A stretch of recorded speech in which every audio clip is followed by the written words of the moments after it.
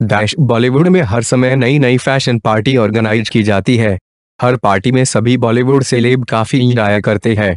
अब Christmas time है और क्रिसमस पर तो आप सभी जानते ही है कि ये टाइम पार्टी टाइम होता है। इस समय बहुत सारी पार्टियाँ बॉलीवुड सेलेब धारा ऑर्गेनाइज की जाती है। डिज़ाइनर संदीप खोसला ने इन छुट्टियों में क्रिसमस पार्टी को काफ़ी इंजॉय किया। आलिया भट्ट, करण जौहर, वरुण धवन सिद्धार्थ, मल्होत्रा और श्वेता बच्चन के अलावा इस पार्टी में और भी कई लोग थे।